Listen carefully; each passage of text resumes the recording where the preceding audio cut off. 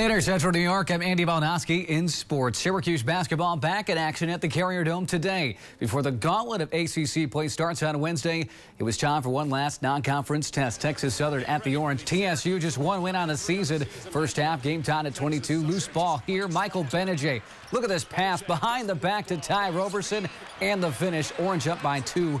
Next possession, the man starts to heat up. Trevor Cooney wide open from the corner. Count it for three. Orange up by 10 at the half. And they kept coming. Second half, Malachi Richardson wants a trifecta, stops, pops, and hits Cuse. Suddenly up by 17.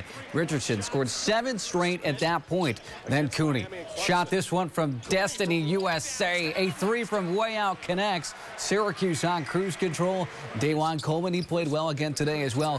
He's going to be needed down low, especially down the stretch of the ACC. Gets the follow up here off the tie line. Missed minutes later. Lydon He's not missing this one. Lydon on the putback and one. Orange looking really good in the second. Then Michael Gbinije going strong to the goal.